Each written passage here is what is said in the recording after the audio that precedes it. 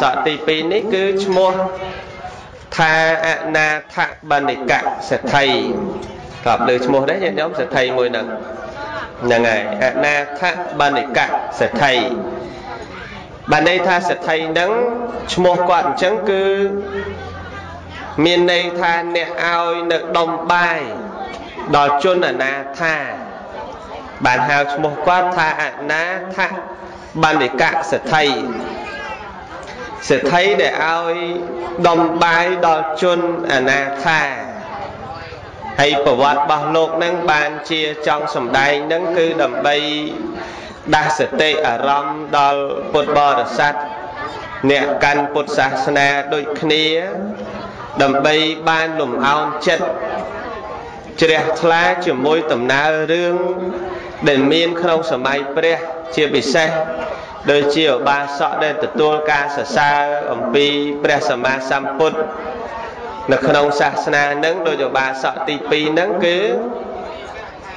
អនាថបណ្ឌិកសេដ្ឋី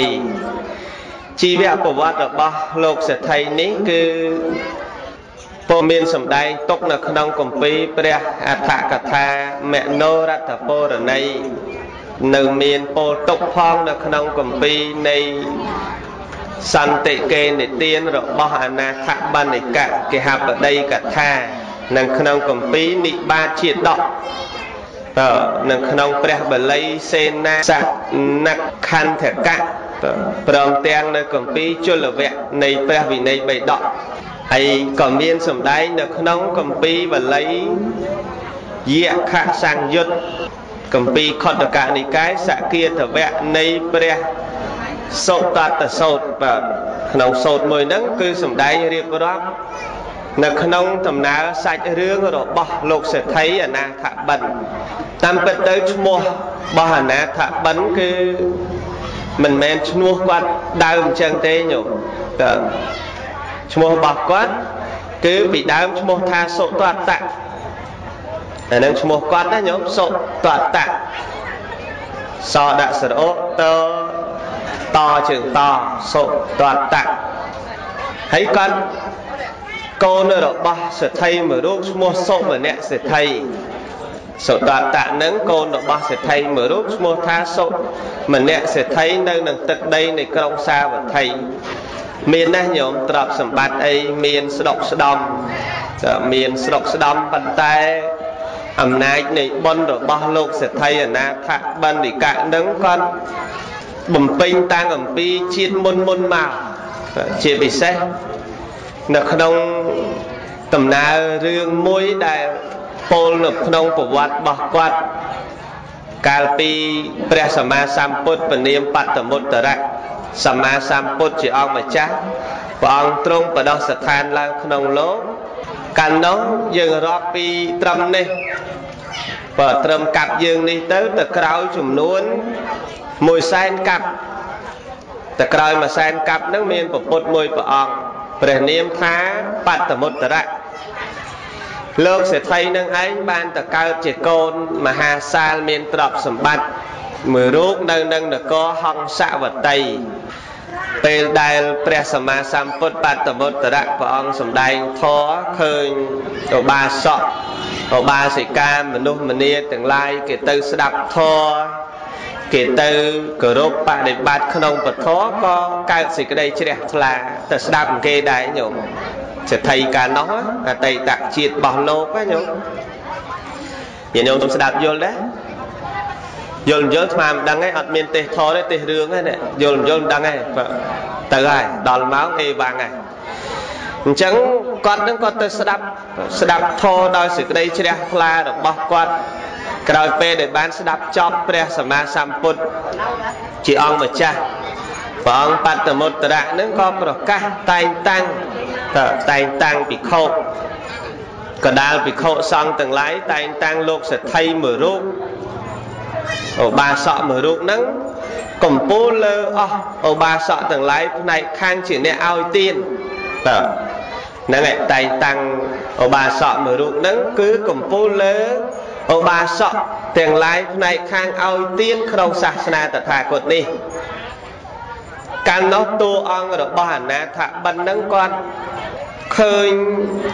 ឧបាសកនឹងដែលព្រះសម្មាសម្ពុទ្ធ ព្រះអង្គទ្រង់តែងតាំងអញ្ចឹងនឹកឃើញចង់បានតំណែងហ្នឹងណាញោម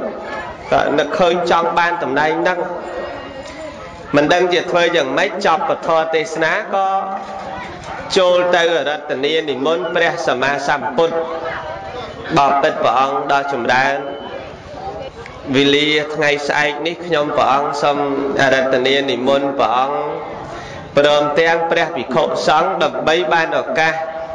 ខ្ញុំព្រះអង្គបំពេញទាននៅនឹងផ្ទះខ្ញុំព្រះអង្គផងអ្នករតនានិមន្តព្រះអង្គអញ្ចឹងខ្ញុំព្រះអង្គក៏ទទួលដោយតណ្ហិភាពអញាតិញោមបាននិមន្តព្រះបានអនឹងព្រះគង់នៅហើយនិមន្តព្រះបានអដែរញាតិញោមបើសិនញោមវិញអដែរ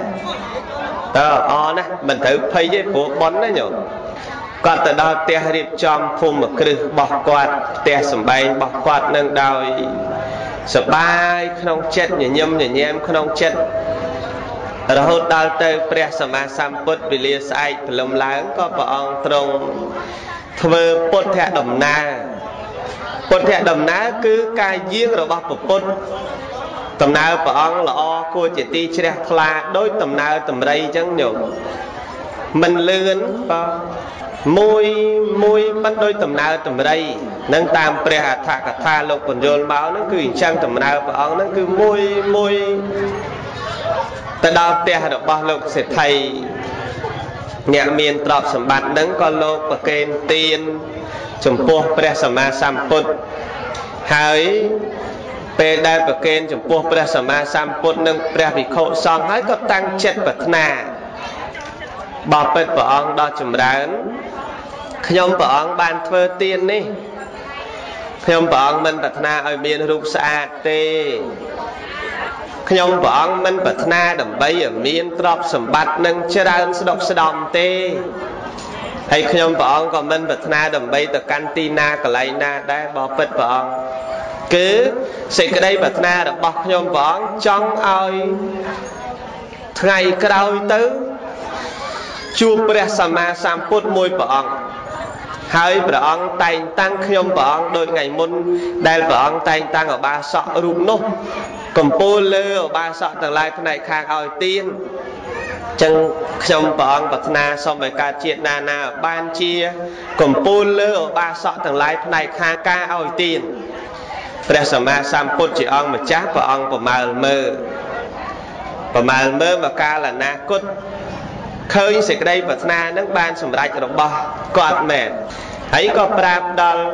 លោកសេដ្ឋីនឹងកាលនោះថាមនាលឧបាសកសេចក្តីប្រាថ្នារបស់អ្នកនឹងបានសម្រេចនៅសល់ចំនួន1សែនកាប់ទៀតគឺរាប់ពីនេះទៅចំនួន1សែនកាប់ទៀតសេចក្តីប្រាថ្នារបស់អ្នកនឹងបានសម្រេចហើយអរញាតិញោមញាតិញោមអើយអត់អី អឺអស់បានបានលឺថាសេចក្តីប្រាថ្នារបស់ខ្លួននឹងបានសម្រេចនៅមួយសែនកាប់ទៀតនឹងសបាយចិត្តសបាយត្រង់ដែលថាខ្ញុំនឹងបានហើយនៅមួយសែនកាប់ទៀតជួបប្រពន្ធមួយអង្គនឹងតែងតាំងខ្ញុំជួបព្រះសមណគោតមបរមគ្រូខំលះបង់ខំបំពេញទានរហូតពីមួយជាតិទៅមួយជាតិនឹងតែងតែស្លាប់ទៅមនុស្ស ចេញពីមនុស្សទៅទេវតាចេញពីទេវតាមកមនុស្សចេញពីមនុស្សទៅទេវតារហូតមកដល់ពុទ្ធកាលហ្នឹងក្នុងសាសនាពុទ្ធសមណៈគោតមបរមគ្រូនៃយើងនេះគាត់នឹងក៏បានបង្កើតនៅក្រុងសាវត្ថីញោមគឺកូនរបស់លោកសុមនៈសេដ្ឋីនៅនឹងនគរសាវត្ថីកើតមកមេដាបេដានឹងក៏ រីកចម្រើនសបាយមានសុភមង្គលក្នុងគ្រួសារបានកូននឹងមកមួយដូចបានកំណប់ទ្របអីមកអញ្ចឹងណាញោមតើដូចបានកំណប់ទ្របអត់ទាស់គ្នាមិនឆ្លោះគ្នាមិនប្រកែកគ្នាមិនដែលចេះជេរប្តីជេរប្រពន្ធទៅវិញទៅមកក្នុងគ្រួសារមកអំពីកូនហ្នឹងគឺជាអ្នកដែលសម្បូរបុណ្យដែលបានមកចាប់កំណើតហ្នឹងកូនដែលសម្បូរបុណ្យ តែដាក់ឈ្មោះកូនថាសុតតៈសតតៈហ្នឹងបានន័យថាអ្នកឲ្យសេចក្តីសុខឈ្មោះសតតៈហ្នឹងណាញោមញាតិញោមស្ដាប់យល់ទេនឹងសតតៈមិញថាម៉េចមើលអ្នកយល់សតតៈមិញថាម៉េចបើអ្នកឲ្យនៅសេចក្តីសុខបាទអ្នកឲ្យនៅសេចក្តីសុខគឺឈ្មោះថាសតតៈហេតុអីបានគាត់ ឈ្មោះថាអ្នកឲ្យនៅសេចក្តីសុខពីព្រោះពេលដែលគាត់ប្រសូតមកម្ដាយឪពុកមេដាបិតាដូចជាសូមម្នាក់សេដ្ឋីអីហ្នឹងបាននៅគ្រឿងបរិខាគ្រឿងបណ្ដាការពីសេដ្ឋីដតីដតីនឹងច្រើនណាស់គេគោរពគេរົບគេគោរពគេរាប់អានគេស្រឡាញ់ចឹងពេលដែលសុតតៈនឹងកើតមកនោះគឺគេ គេនាំទ្រព្យនឹងមកឲ្យឪពុកនឹងទៅហ្មងញោមដឹងអ្វីអានេះដូចយើងសពថ្ងៃចឹងកំណើតកូនខ្លះនាំមកសុកសុកណាញោមកំណើតកូនខ្លះអត់សុកអត់ទៅហ្មងឈឺរហូតទៅហ្មងបាទឈឺរហូតញ៉ៃបើកូនណាឲ្យសុកតែចាក់កតុយលេងហ្នឹងក៏ត្រូវដែរ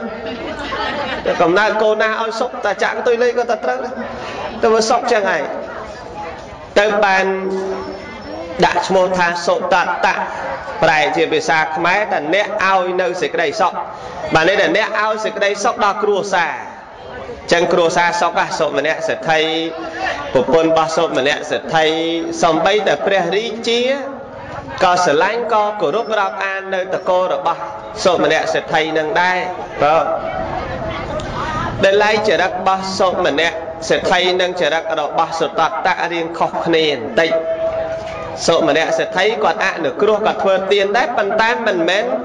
ធ្វើដោយកូនទេ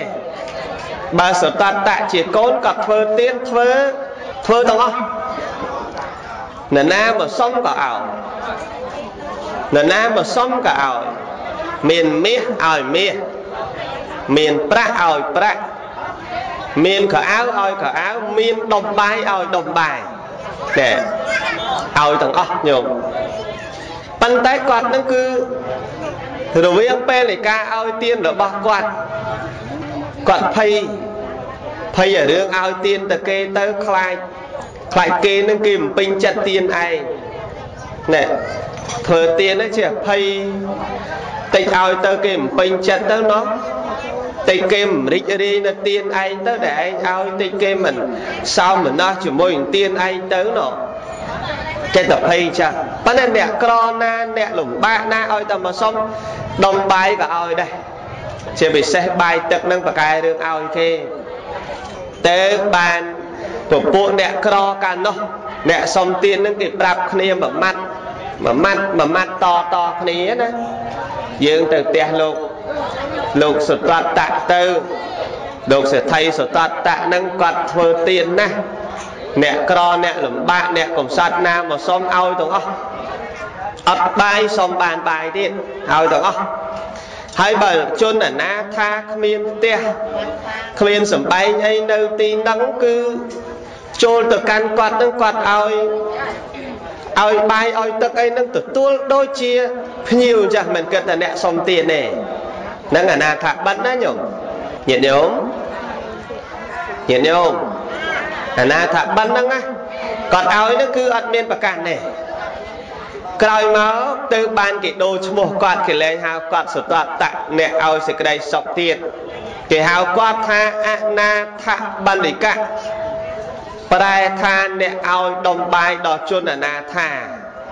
ព្រោះគាត់ធ្វើជាមួយនឹងអ្នកជនអនាថានឹងច្រើនចឹងគេហៅឈ្មោះគាត់អញ្ចឹងដូចមនុស្សយើងសពថ្ងៃហ្នឹងបើនរណាមានមេត្តាច្រើនគេហៅលោកយាយមេត្តា នរណារុះរាយខ្លាំងគេហៅលោកយាយរុះរាយនរណាមុខកញ្ញើខ្លាំងគេហៅលោកយាយកញ្ញើនរណាកំណាញ់ខ្លាំងគេហៅលោកយាយកំណាញ់នរណាចិត្តល្អខ្លាំងគេថាលោកចិត្តល្អលោកសពបរោះឃើញទេញោមគេហៅចឹងឯងចឹងលោកសេដ្ឋីហ្នឹងគេដូរសុតតៈចេញគេហៅគាត់ថាអនាថបណ្ឌិកៈដោយសារគាត់ឲ្យដុំបាយដល់អនាថាហ្នឹងអត់រើសមុខទេក្រោយមកក៏បានមានភរិយាភរិយារបស់ សុតតៈនឹងរបស់អនាថបណ្ឌិកៈនឹងណាញោមភរិយារបស់គាត់ឈ្មោះថាបញ្ញលក្ខណាទេវីបញ្ញលក្ខណាទេវីនឹងភរិយារបស់គាត់តិញោមអ្នកធ្លាប់ស្ដាប់ធម៌រដងហ្នឹងអត់ដឹងទៅទេសនាលោកទេសពេកហើយអាណាថាបិណ្ឌតិចសួរប្រពន្ធគាត់ឈ្មោះអីតិចអត់ដឹងណាញោមនាងហ្នឹងគឺជាអ្នកសម្បូរបុណ្យដែរញោម បញ្ញៈហ្នឹងប្រែមកតបុណ្យលក្ខណៈហ្នឹងអ្នកអ្នកមានលក្ខណៈអ្នកមានចរិតបុណ្យទៅហ្មងចរិតបុណ្យចរិតបុណ្យចរិតអាម៉េចញាតិញោមដឹងដែរចរិតបុណ្យចរិតកាចមែនញោមចរិតបុណ្យស្លូតអញ្ចឹងហ៎ចរិតបុណ្យដូចថាឃើញរោងបុណ្យឃើញលោកទេសឃើញអីចឹងយើងដើរទៅមកកាត់អត់ចូលស្ដាប់លោកទេសចឹងចរិតបុណ្យទេ អត់ទេហ៎ហ្នឹងចរិតបុណ្យគឺឃើញបុណ្យគេចូលរកបុណ្យដើរដើរទៅចំពេលគេថ្វាយគុំព្រះអូខ្ញុំមកគិតចូលគេសិននិតិពិសោភគវិរហੰសម្មាសម្ពុទ្ធោថ្វាយគុំគេទៅយើងមកបន់មកបន់នឹងដែលមកបានបន់នឹងមកអញ្ចឹងចរិតបន់អញ្ចឹងស្ដាប់គេមេក្រូឮថាម៉េចអើបើមេក្រូគេឮថា អេតេបេសោភគវិរូបកុំឲ្យគេយកបន់នឹងអស់សុកចិត្តមកដណ្ដើមបន់ពីគេយកទៅអាហ្នឹងគេហៅចរិតបន់ណាញោមតែបើមកបឡាំបកៅបឡាំបកៅបឡាំបកៅអត់បានធ្វើអីទេអត់បានបនអីទេហើយបើមកលឺគេសំសិលអូកាសមយ៉ាងបន្ទេវិសងវិសងរខណតាយៈរូតអូគេសំសិលហើយរូត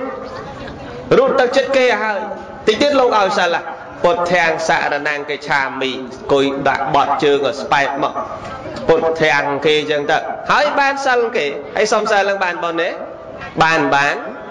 ហើយនៅនឹងចរិតប៉ុននៅចរិតបាបចរិតប៉ុនឃើញទេញោមគឺឲ្យតែឃើញគេអង្គុយ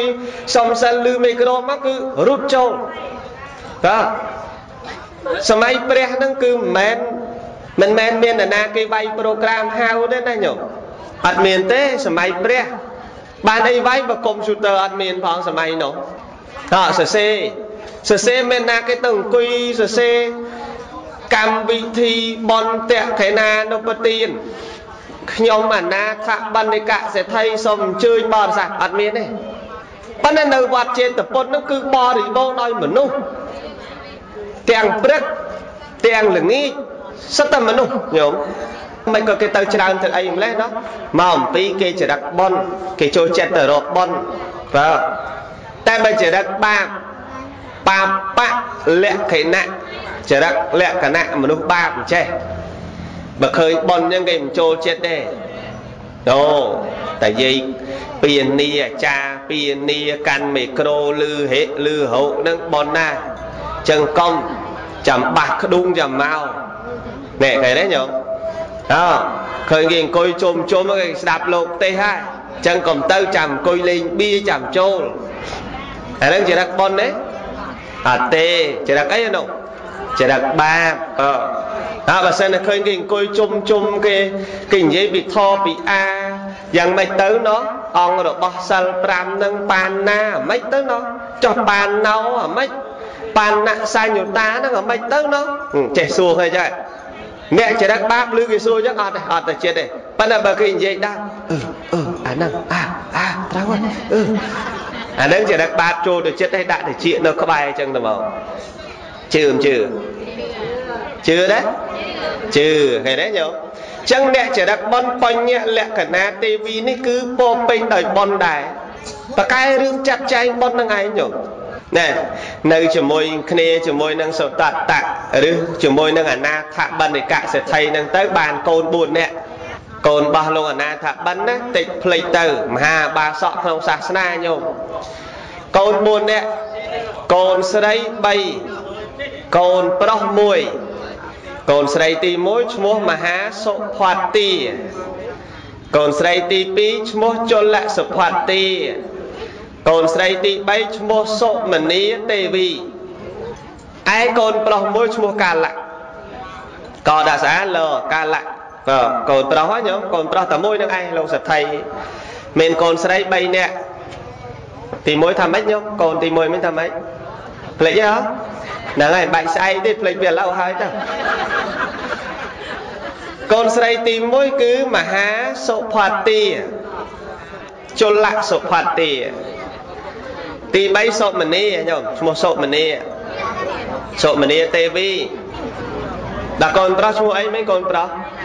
កាលៈឃើញទេញោមចាំបដាបដាតែស្អែកភ្លេចអស់ហើយណែនិយាយអំពីគ្រួសារហ្នឹងណាញោមគាត់ជាសេដ្ឋីដែលមានសម្បត្តិមហាសាលក្រោយអំពីតំណែងតអំពីឪពុក គឺបៃតាឈ្មោះសុមនៈសេដ្ឋីទៅទ្រព្យសម្បត្តិ របស់ទាំងអស់ហ្នឹងត្រូវធ្លាក់មកលើកូនគឺអនាថបណ្ឌិកសេដ្ឋីហ្នឹងតែសម័យនោះគេធ្វើចំនួនជួញញោមតើគេធ្វើចំនួនជួញទៅម្ដង500រទេសសេដ្ឋីមួយមួយគេជួញអញ្ចឹងគេមានអញ្ចឹងណាញោមទៅម្ដង500រទេសទៅម្ដង500រទេសទៅម្ដង500រទេសហើយលោកសេដ្ឋី ថ្ងៃមួយគាត់ទៅជួញជួញនៅក្រុងរាជក្រឹសណែតែក្រុងរាជក្រឹសមានផ្លូវមួយគេហៅផ្លូវតំបន់សេដ្ឋកិច្ចពិសេសនៅរាល់ថ្ងៃហ្នឹងញោមផ្លូវហ្នឹងផ្លូវកង់រទេះសម័យពុទ្ធកាលគេប្រើកង់រទេះខ្លាំងណាស់ហើយរទេះតែទៅគឺតគ្នារហូត5 500រទេះចឹងនៅនៅរាជក្រឹសរាល់ថ្ងៃហ្នឹងមានផ្លូវរទេះមួយខោងប្រហែលកន្លះម៉ែត្រញោម ផ្លូវហ្នឹងគឺខោងប្រហែលកន្លះម៉ែត្រហ្នឹងគឺថ្មហ្នឹងវាខោងនៅក្នុងវស័កថ្មហ្នឹងញោមចុះសម័យនោះមានឡានមានម៉ូតូមានអាម៉ោអីទេអត់ទេគឺគេប្រើដោយរទេះហើយម្ដង500ចូល500ចេញ500ចឹងបានយើងឃើញថ្មសពថ្ងៃហ្នឹងដែលអាត្មាទៅទៅបាន2ដងហើយទៅ ឃើញអាថ្មហ្នឹងពិចារណាថាមិនដឹងជាមួយថ្ងៃមួយថ្ងៃប្រហែលរយរទេសដែលត្រូវរត់កាត់កន្លែងហ្នឹងបានខូងថ្មម្លឹងម្លឹងនេះប៉ិនកង់រទេសហ្នឹងឯងអាណាថាបិណ្ឌគាត់មានពួកម៉ាក់គាត់ឈ្មោះរាជាកហសទ្ធិនៅក្រុងរាជក្រឹសតាមដីកាខ្លះដាក់ថាត្រូវជាបងប្អូនថ្លៃផងញោមគាត់គាត់ទៅជួញម្ដង500រទេសចឹងបើគេទៅជាសទ្ធិបានគេជួញច្រើនច្រើនអញ្ចឹងណាញោម ហើយសពថ្ងៃហ្នឹងវានៅតអញ្ចេះវានៅមានឡាន តាមស្រុកឥណ្ឌាសពថ្ងៃហ្នឹងណាញោមកាលមុនជួយរទេសឥឡូវឡានអាត្មាឃើញកាលទៅហ្នឹងឃើញឡានដឹកអំពៅបើថាក្រុមហ៊ុនអំពៅហើយបើថាគេទៅហើយមួយខ្នល់ហ្នឹងគឺតែគេហើយ500ឡានសាឡានការ៉េធំធំហ្នឹងណាញោមសាឡានដឹកនឹងសអំពៅពេញពេញឡានហ្នឹងអញ្ចឹងបើតែយើងទៅចំអាផ្លូវគេចេញមកស្ទះហើយ ទៅ500ឡានមក500ឡាន គេនៅទម្លាប់ហ្នឹងតាំងពីដើមគេ500រទេសឥឡូវគេដាក់500ឡានហើយបើចេញមកចំអាគេដឹកទំលងចូលទៅរោងចក្រគេម្ដង500ឡានអញ្ចឹងដែរទៅអញ្ចឹងដែរញោមចឹងមិនមែនមានតែនោះទេឥឡូវនោះក៏មានច្រើនអញ្ចឹងដែរប៉ុន្តែសម័យនោះវាអស្ចារ្យត្រង់ថាពេលដែលគាត់ទៅជួញក្នុងក្រុងរាជក្រឹសព្រះសម្មាសម្ពុទ្ធជាអង្គម្ចាស់ព្រះអង្គបានមកគង់នៅវត្តវេលវ័ន ដែលជាកលន្តកនិវាបស្ថានព្រះបានពំវិសាសាងថ្វាយព្រះសម្មាសម្ពុទ្ធព្រះអង្គគង់នៅទីអារាមនោះរាជកហៈនេះញោមដំបងឡើយមិនមែនជ្រះថ្លាជាមួយពុទ្ធទេញោមអើយលឺទេអត់ជ្រះថ្លាទេកាលនោះគាត់នឹងដើររកព្រះអរហន្តណែសទ្ធិមួយឈ្មោះរាជាកហៈ ដែលក្នុងនៃការដាក់ថាត្រូវជាសម្លាញ់របស់សទ្ធិអនាថាបណ្ឌិកៈតែនៃការខ្លះដាក់ថាត្រូវជាបងប្អូនថ្លៃកាលមុនគាត់អត់ជ្រះថ្លាទេសទ្ធិឈ្មោះរាជាកហៈហ្នឹងគាត់ធ្វើសមាហរណកម្មរវាងរាជាកហៈនិងរវាងអនាថបិណ្ឌអនាថបិណ្ឌនៅសាវត្ថីឯរាជកហៈគាត់នៅរាជក្រឹសចឹងត្រូវសមារណកម្មតំណែងនឹងត្រូវដូរទៅដូរមក500រទេស500រទេសគាត់រស់ស៊ីចឹងឯងហើយពីសាវត្ថីមក រាជក្រឹសមិនមែនចិត្តទេណាញោមជិះឡានចេញពីព្រលឹមដល់វិញយប់រាល់ថ្ងៃហ្នឹងបើចង់ទៅហើយផ្លូវស្រួលផងចេញព្រលឹមទៅដល់ព្រលប់អញ្ចឹងបានន័យថាចម្ងាយផ្លូវវាអាចឆ្ងាយទៅឆ្ងាយណាស់តែគាត់ទៅដោយរទេះមិនមែនទៅដោយគ្រឿងចាក់អីទេកាលពីមុនហេតុអីបានរាជាកហៈហ្នឹងគាត់តែជ្រះថ្លាគាត់ដើររកព្រះអរហន្តគាត់មាន បានបាតក្លឹមច័ន្ទមួយគាត់ដាក់ពយោលើចុងឈើកម្ពស់60ហត្ថញោមហើយគាត់ដាក់អញ្ចឹងគាត់ថាបើសិនជាមានព្រះអរហន្តមែនមានអ្នកចេះហោះមានអ្នកចេះហើអញ្ចឹងមែនប្រកាសជាតិទៅយកបានក្លឹមច័ន្ទនឹងបានណាហើយបើសិនតែណាយកបានខ្ញុំជឿទៅលើអ្នកនោះអ្នកនោះនឹងគឺប្រកាសជាព្រះអរហន្តដែលខ្ញុំគួរគោរពដែរកាលនោះមានពួកសាសនាផ្សេងនេះក្រុនយោ ពួកនិកន្តនេតបុតអីពួកបូរណៈកសបៈអីហ្នឹងមានសម្បូរបែបណាស់ដែលជាសាសនាប្រឆាំងជាមួយនឹងសាសនាព្រះសម្មាសម្ពុទ្ធហ្នឹងទៅលួងលោមវល់លោកសទ្ធិអើយដឹងតាព្រះអរហន្តនឹងគ្នាអាត្មានឹងមានដែរនឹងសាសនានិគុណនិក្រនដេរថៃណាញោមដឹងតែមានដែរខ្ញុំមិនបាច់ចាំហោះទេអាត្មាមិនបាច់ហោះទេយកបាតចុះមកហើយមកហើយជឿលើសាសនាអាត្មាទៅ អេអត់ទេព្រះអង្គហើយបើសិនជាមានមែនហោះយកបានទេបើហោះយកមិនបានអត់ទេអត់ទៅជឿអីទេអញ្ចឹងគ្រូគេនេះក៏គេទៅបច្ចេះកូនសាសឥឡូវកូនសិស្សឯងទាំងអស់គ្នាណាពេលដែលគ្រូចង់ហោះទៅយកនាំគ្នាចាប់ព្រោះកាលណាអត់ចាប់អត់ចេះហោះផងចេះប្រឡំប្រឡំគេឲ្យដឹងហើយញោមប្រុងហោះវើប៉ុន្តែហោះអត់រួចទេប៉ុន្តែឲ្យកូនសិស្សទាំងឡាយតែពេលដែលយើងរកហោះនាំគ្នាទៅចាប់ទៅហើយកុំឲ្យហោះព្រោះហោះវាមិនរួចដែរបើមិនចាប់ខ្មាស់គេឲ្យសទ្ធិនឹងជឿហើយហើយដាក់បាតមកឲ្យយើងទៅចូលទៅសាសនាយើងយកទ្រព្យសម្បត្តិយកលៀបសការៈចូលក្នុងសាសនាអន្តរថៃយើងទៅដល់ក្រោមបាតហ្នឹងគេប្រុងរៀបចំហោះសទ្ធិហ្នឹងឈរចាំមើលចឹងមែនញោមញោមអើយអឺចិត្តដល់ម៉ោងបាត់ហើយស្រាប់តែមេគេហ្នឹងគ្រូគេប្រុងហោះវើទៅ កូនសិស្សគេរត់ទៅចាប់លោកគ្រូកុំហោះលោកគ្រូកុំហោះតាមពិតហោះអត់រួចទេប៉ុន្តែធ្វើល្បិចទេខ្ញុំហោះមិនរួចទេឥឡូវលោកគ្រូយើងចង់ហោះប៉ុន្តែអាត្មាគ្រប់គ្នានឹងមិនឲ្យហោះដឹងតែលោកគ្រូហោះបានឥឡូវដោះបានមកហើយជឿទៅជឿសាសនាអាត្មាទៅរាជាកហៈនឹងតែទេមិនជឿដរាបណាបាននៅលើអត់មានអ្នកយកបានមិនជឿអត់មានអ្នកយកបានមែនញោមអស់មួយអាទិត្យមួយអាទិត្យទៅស្មើប៉ុន្មានថ្ងៃញោម 7ហ៎ចាំមួយសប្តាហ៍ប៉ុន្មាន7លើគ្នាគឺ7វាស្មើមួយអាទិត្យមែនទេញោមដល់មួយអាទិត្យវាស្មើមួយសប្តាហ៍ត្រូវហើយចឹងអត់ខុសទេអីសិនអ្នកចេះតែហ្មងដល់ទៅពេលហើយញោមអស់មួយអាទិត្យហើយគ្មាននរណាយកបានទេបាតនឹងនោះនិយាយអំពីប្រធេរៈពីរព្រះអង្គមកព្រះអង្គគឺព្រះមហាមោគលានហើយមកព្រះអង្គទៀតឈ្មោះបណ្ឌលៈភារៈទ្វាជៈ ចុះពីភ្នំកិច្ចកោតព្រោះភ្នំកិច្ចកោតនៅឆ្ងាយពីកន្លែងក្រុងរាជក្រឹសឯងព្រោះភ្នំហ្នឹងវានៅបាំងក្រុងរាជក្រឹសព័ទ្ធជុំវិញតើហៅថាបញ្ចគិរីភ្នំ5ហ្នឹងអមជុំវិញព័ទ្ធជុំវិញនគររាជក្រឹសនៅដល់រាល់ថ្ងៃហ្នឹងឯងញោមចុះពីភ្នំកិច្ចកោតមកមកបណ្ឌបាតតើបណ្ឌបាតហ្នឹងស្រាប់តែគេនិយាយអ្នកស្រុកអ្នកទេសនឹងនៅក្រុងគេនិយាយ ប្រហែលលោកសេដ្ឋីរាជកហៈគាត់ផ្សងរកព្រះអរហន្តមិនមានផងយើងនឹងទៅធ្វើបុណ្យណាទេគ្មានព្រះអរហន្តផងនៅលើលោកនេះបាទខ្លឹមច័ន្ទដាក់មកអាទិត្យហើយគ្មានឃើញនរណាយកបានផងឮចឹងទៅព្រះមុគលានងាកប្រភ័ក្រមកមកមើលព្រះបណ្ឌលភារទ្វាជៈភារៈនេះលោកម្ចាស់អវសោ តើគួរនឹងខ្ញុំកណាឬក៏គួរនឹងអវសោអ្នកធ្វើបណ្ឌលភារទ្វាជៈថានេះមិនបាច់ចាំអវសោទេទុកក៏ខ្ញុំកណាវិញសំដែងរិទ្ធញោមហោះវើទៅទៅយកចុងម្រាមជើងទាំងពីរញោមយកទៅត្បៀតកពូលភ្នំមួយតើយកទៅត្បៀតកពូលភ្នំមួយកពូលភ្នំហ្នឹងទំហំ1គីវុតហើយមួយគៀវុតវាស្មើនឹង4គីឡូ នេះមួយគៀវុតដែរញោមស្មើ4គីឡូគៀបម្រាមជើងមួយហោះកាត់កំពូលភ្នំមកមកហោះលើក្រុងរាជក្រឹសនឹងរេទៅរេមកមនុស្សឃើញច្បាស់ច្បាស់ទៅហ្មងញោមឃើញច្បាស់ចេះចឹងខ្លាតាមក្នុងកម្ពីបញ្ជាក់ថាខ្លះទៅ20មែនតើរត់ទៅចូលពីងទឹកណាញោមហើយទៅយកចង្អេនឹងគ្របពីលើខ្លាចវាធ្លាក់ត្រូវនោះហ្នឹង20មែនតើឃើញច្បាស់ច្បាស់អញ្ចឹង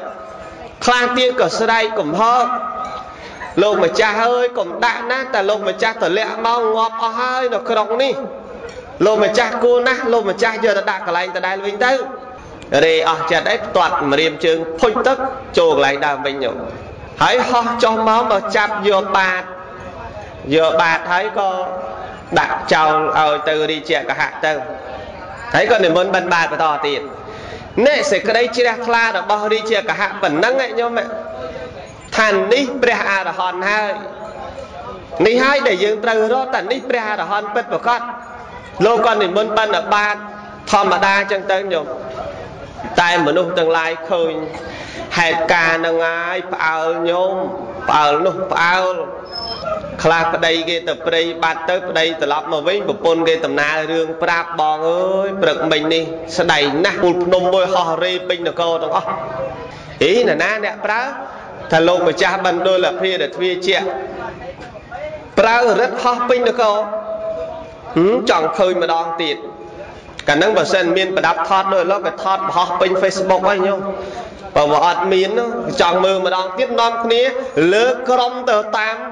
បណ្ដោលភាទវាជារហូតដល់វត្តវេលវត្តញោមទៅលងណែនវត្តញុកអញ្ញៈអញុកអញ្ញៈចង់ឲ្យលោកធ្វើម្ដងទៀតឲ្យមើលចង់ឃើញនោះវាអស់ចាពេក ព្រះសម្មាសម្ពុទ្ធជាអង្គម្ចាស់ព្រះអង្គត្រាស់សួរអនន្តមនាលអនន្តឬ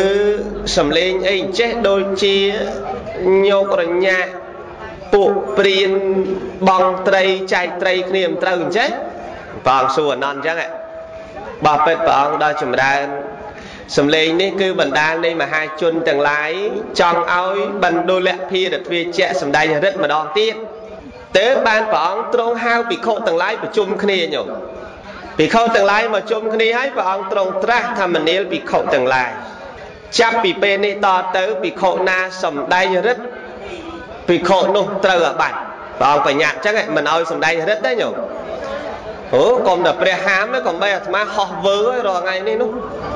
ប៉ុន្តែព្រះហាមអត់មានអ្នកចេះរដល់រាល់ថ្ងៃហ្នឹងទៅ តើនៅដើរនៅជិះម៉ូតូនៅជិះឡានអីចឹងទៅញោមអញ្ចឹងដោយការនោះព្រះអង្គហាមអញ្ចឹងហើយរឿងហ្នឹងនៅបន្តទៅទៀតអ្នកនិយាយអំពីសេចក្តីជ្រះថ្លារបស់រាជាកហសិទ្ធិចាប់តាំងពីពេលហ្នឹងមកជ្រះថ្លាជាមួយប្រពុតជ្រះថ្លាជាមួយប្រពុតជាអង្គម្ចាស់ហ្នឹងជ្រះថ្លារហូតរហូតទៅដល់ការជ្រះថ្លារបស់រាជាកហសិទ្ធិហ្នឹងរកអ្នកណាមួយមកប្រៀបឧបមាអត់មានសិទ្ធិញក្នុងក្នុងរាជគ្រឿងថ្ងៃមួយ ទៅដល់វត្តស្ដាប់ធម៌នៅវត្តវេលវត្តនឹងស្ដាប់ធម៌ព្រះសម្មាសម្ពុទ្ធជាអង្គម្ចាស់ព្រះអង្គសម្ដែងធម៌ស្ដាប់ព្រះអង្គសម្ដែងសម្ដែងចប់ចឹងទៅរាជាកហៈហ្នឹងក៏ទៅអរតនីនិមន្តព្រះសម្មាសម្ពុទ្ធនិងភិក្ខុសង្ឃផន្តេភគវីបបិទ្ធព្រះដ៏មានវិភាកដ៏ចម្រើន ថ្ងៃស្អែកនេះខ្ញុំព្រះអង្គសូមរតនានិមន្តព្រះអង្គនិងភិក្ខុសង្ឃឆាន់នៅនឹងភូមិគ្រឹះរបស់ខ្ញុំព្រះអង្គព្រះដ៏មានវិភាកជាអង្គម្ចាស់ព្រះអង្គទទួលដោយតណ្ហិភាពរីករាយនឹងទទួលតែស្អែកតថាគតនឹងទៅចឹងធម្មតាញោមព្រះសម្មាសម្ពុទ្ធនិងភិក្ខុសង្ឃទៅឆាន់ឧទាហរណ៍ដូចរាល់ថ្ងៃនេះចឹងបើញោមទៅមុនលោកបានមកឆាន់នៅផ្ទះញោម10អង្គមកដល់ផ្ទះ ល្ងាចហ្នឹងញោមបតុកបដាក់បតុកបដាក់ដែរញាតិញោមរវល់ទេមើលទៅតើបែបរវល់ក្រាលអាសនៈលោកត្រូវឆាន់អីចេះលោកគង់ឯណាចេះសំផ្ទះឯងវាំងនើនក៏មិនសូវស្អាតត្រូវជូតទៅនេះត្រូវជូតទៅនោះមិនអញ្ចឹងញោមមកហើយចោះលោកសេដ្ឋីរាជកហៈព្រះមកទាំងមូលមិនមកមកចំហៀងទេញោមមកនេះមកទាំងមូលហើយភិក្ខុសង្ឃរាប់រយអង្គមកថែមទៀតជាបរិបារ ប្រាប់អ្នកបំរើនៅផ្ទះនៅភូមិគ្រឹះទាំងប្រុសទាំងស្រីទាំងខ្ញុំប្រុសទាំងខ្ញុំស្រីទាំងអ្នកបំរើនៅផ្ទះទាំងបាល់ម៉ាននឹងសូមឲ្យជួយរៀបចំអាសនៈព្រះអង្គនៅភិក្ខុសង្ឃអ្នកខ្លះនៅខ្វះទឹករែកទឹកអ្នកខ្លះយួរទឹកអ្នកខ្លះត្រូវស្វែងរកអាហារអ្នកខ្លះរកអស់ត្រូវធ្វើម៉េចឲ្យស្អាតស្អែកឡើងព្រះសម្មាសម្ពុទ្ធនិមន្តមកចៃដន្យសទ្ធិអនាថបណ្ឌិកៈនេះញោម ធ្វើដំណើរពីសាវត្ថីទៅ500រទេសទៅជួយនៅនឹងនោះញោមទៅទៅដល់ផ្ទះរាជាកហៈព្រោះគាត់ទម្លាប់គាត់ទៅទៅជួយទៅសម្រាប់នៅផ្ទះរាជាកហៈហើយជាប់សាច់ជាប់ឈាមគ្នាផងហើយណាមួយស្និទ្ធស្នាលគ្នាផងហើយសទ្ធិហើយសទ្ធិគេមកពីពីនគរផ្សេងមកដល់នេះត្រូវមកសម្រាប់នៅផ្ទះរាជាកហៈហ្នឹងសពពេលចឹងឯងញោមតែមកដល់រាល់ដងមកដល់គេទទួល រាជាកហៈអីគេទទួលហើយអ្នកផ្ទះហ្នឹងគេដូចជាឃើញអាណាថាបិណ្ឌមកគេសបាយគេតតាក់ទទួលស្រាប់តែមកលើកនេះអត់ទទួលញោមប្លែកទៅមកចឹងគេអាឡ័យរវល់រៀបចង្ហាន់លោកស្អែកញោមមានណាគេមករវល់រឿងសទ្ធិឯងមកហើយរាជាកហាក៏គេអត់បានខ្វល់ជាមួយនោះអាឡ័យទៅក្រាលអាសនៈអាឡ័យទៅរៀបនេះអាឡ័យទៅរៀបនោះគាត់អានេះគិតទៅមកបើមនុស្សយើងធម្មតាអន់ចិត្តឥឡូវញោម ញោមជឿដែរមករដងគេទទួលមកលើកហ្នឹងមិនទទួលអន់ចិត្តឥឡូវអីបែបឯងមកញឹកពេកគេធុញហ្នឹងមើលទៅបើគេលេងនិយាយរកឯងអស់ហើយឃើញទេញោមប្រកាសយើងងអញ្ចឹងហើយជាពិសេសរឿងប៉ុនហ្នឹងអញ្ចឹងប៉ុនភីច្រើនអញ្ចឹងទៅប៉ុនយើងត្រូវយកសបុតទៅប្រាប់គេមិនអញ្ចឹងឯងញោមអីយកសបុតបងណាអញ្ជើញនេះធៀបសបុតខ្ញុំប៉ុនខ្ញុំណាបង សូមអញ្ជើញទៅប៉ុនខ្ញុំផងចាចាចាមិនអីទេចាំខ្ញុំទៅចាចេញពីផ្ទះមួយទៅផ្ទះមួយទៀតដល់ថ្ងៃប៉ុនវាមនុស្សច្រើនទទួលវាមិនអស់ទទួលនេះចេះមិនមែនអង្គុយឲ្យសពគ្នាណាមែនទេញោមមែនអង្គុយសពគ្នាណាអាឡៃតែញឹមហ្នឹងផ្លេចចំណោះគេមកដែរលេងបានទៅញឹមឯនោះនោះថាបដ ாய் កាលទៅដល់ផ្ទះឯងសបុតហុចទៅឯងសិតតែផ្ដាំឯងកុំឲ្យខាន ទៅអ្នកទៅអ្នកតើឯងមកវិញមុខមើលឯងបោះខ្ពើមហូបបបហ្នឹងឃើញទេញោមចាំមើលបានតែម្ដងនេះយីឯងឃើញទេងើបាត់ហើយទៅងើងើមិនញោមងើងើមិនវិញងើងើអត់បានព្រះអង្គហេងោខ្ទួយងោខ្ទួយមកដល់តាំងខ្ទួយទៅវិញទៅហ្មងញោមណែ ចឹងបានថាប្របាកណាស់ញោមដល់តែយើងយល់ដោយអាណាថាបិណ្ឌអញ្ចឹងគាត់អត់មានខឹងរាជាកហៈទេហើយគាត់សទ្ធិផងសទ្ធិឲ្យគ្នាគាត់មក500នាក់ហើយទំនិញរបស់គាត់500រទេស ដែលត្រូវមកហ្នឹងចុះសពម្ដងគេទៅផ្ទះគេទទួលគេរៀបកន្លែងឲ្យគេរៀបអាសនៈហើយរាជាកហៈម្ចាស់ផ្ទះនឹងមកសន្ទនាគ្នាមកប្រស្រ័យតាក់ទងគ្នានឹងដូចជាស្និទ្ធស្នាលចុះលើកនេះមិនក៏អត់អញ្ចឹងគាត់ក៏គិតអ្នកគាត់គិតចេះគាត់មិនគិតអកុសលទេគាត់គិតថាហេរាជកហៈបែបស្អែកមានរវល់ពិធីបូជាយ៉ាញ់អីហ្នឹងឬក៏ស្អែកគេរៀបមង្គលការកូនគេយ៉ាងម៉េចបានគេរវល់ណាណោះហើយក៏ស្អែកគេធ្វើពិធីយាងព្រះមហាក្សត្រប្របាទពំពិសាយកមកសោយព្រះស្ងោយនៅភូមិមួយគ្រឿងចេះបានរវល់ អើឲ្យគេរវល់ក៏រវល់ហើយសិនចោះយើងរកកន្លែងអង្គុយសិនណារកកន្លែងអង្គុយខ្លួនឯងណាញោមមកផ្ទះគេរកកន្លែងអង្គុយស្មាយើងទៅរួចញោមគេអត់អញ្ជើញមកម៉ាត់រួចទេតអាយុហើយមកលោកទៀតរត់ទៅទៅលេងរួចបាត់ញោម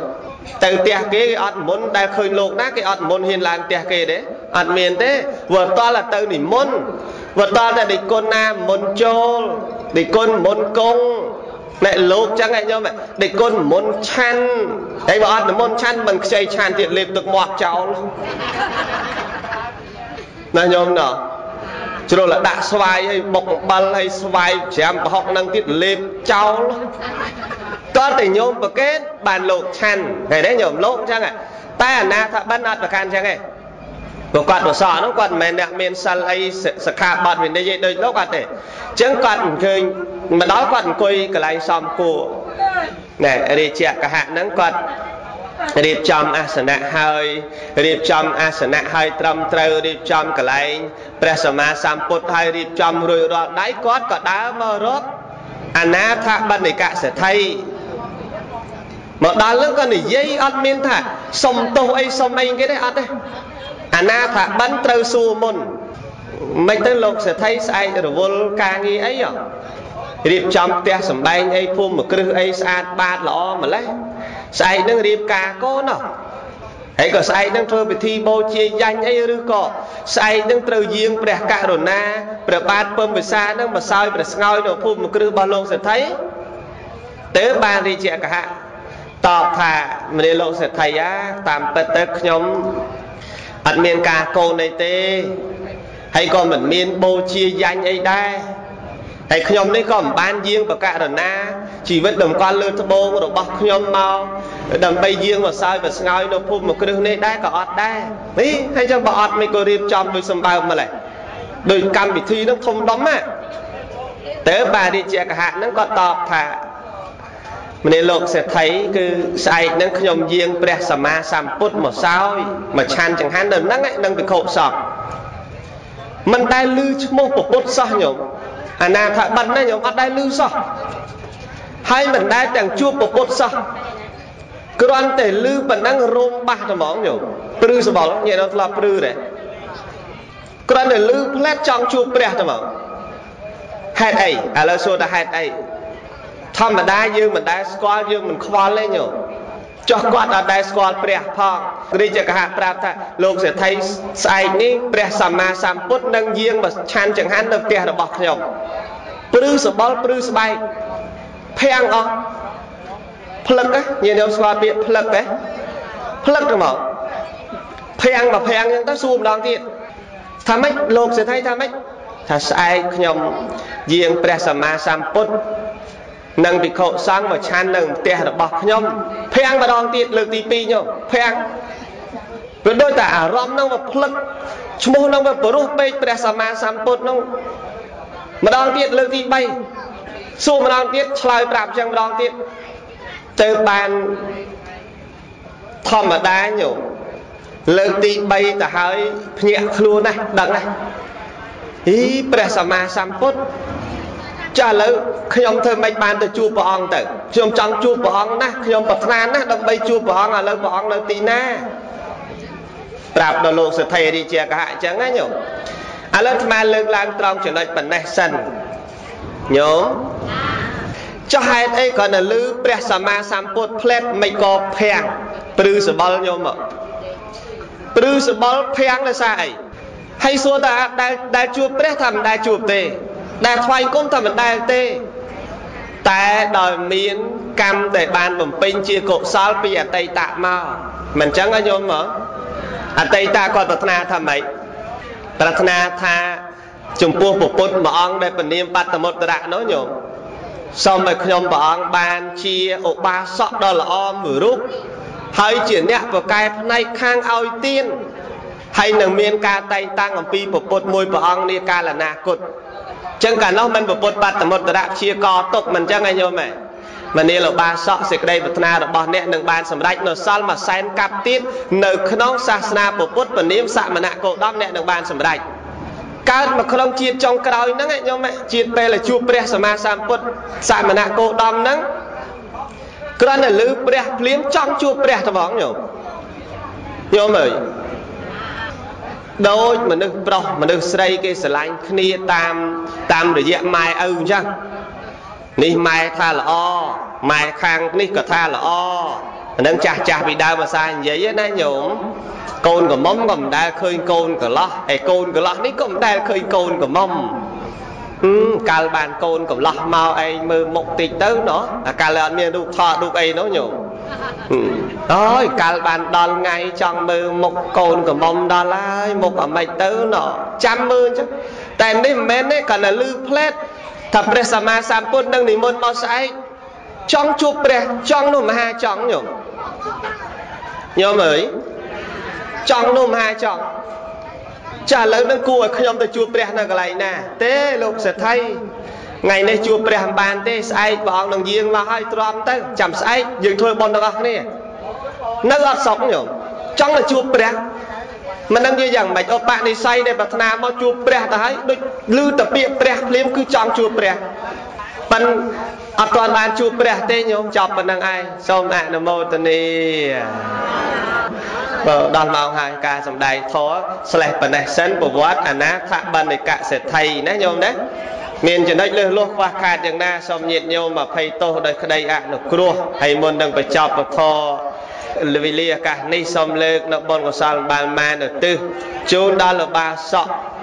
អំសែមហាវឆោមដែលបានធ្វើការលកិរិយាទៅកាន់លោកខាងមុខសូមទទួលត្រេកអរអនុមោទនីបុណ្យនឹងបានរួចចាកអំពីទីរថោកទាបទៅកាន់សុគតិភពដ៏វិសេសវិសាលយ៉ាងទៀតប្រគុណម្ចាស់គ្រប់ព្រះអង្គញាតិញោមពុទ្ធបរិស័ទប្រុសស្រីទាំងអស់ស្ដាប់ពធទាំងនៅទីនេះទាំងតាមបណ្ដាស្ថានីយវិទ្យុរបស់នេតិអប់រំជីវិតតាមកលងពុទ្ធសាសនា សូមបានចំណែកនៃធម្មទានពលគឺបញ្ញាទីបំផុតសូមបានរួចចាក់ទុកគ្រប់ព្រះអង្គគ្រប់គ្នាអនុមោទនាអនុមោទនាបុណ្យអនុមោទនាមគ្គផលអនុមោទនាអយ៉ាងសង្កពេអ្នកសមត្តាធរទេសនាសម្ដែងអំពីប្រវត្តិរបស់អនាថបណ្ឌិកសិទ្ធិឧបាសកទី2ក្នុងសាសនាសន្មតថាស្លេះបណេះសិនអេ vàng